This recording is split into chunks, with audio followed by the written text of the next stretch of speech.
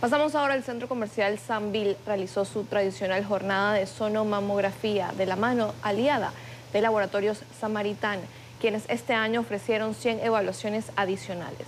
Durante dos días, finalizando este domingo, colaboradores de tiendas y público en general asistieron a los chequeos rutinarios para la prevención del cáncer de mama.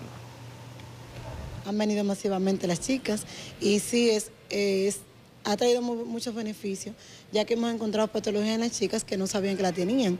Entonces ya estamos tratando de manera preventiva y ayudando a que esas pacientes que no tienen la forma de cómo explorarse, de cómo hacerse de estudio, entonces por lo menos con esta jornada se beneficien de esta.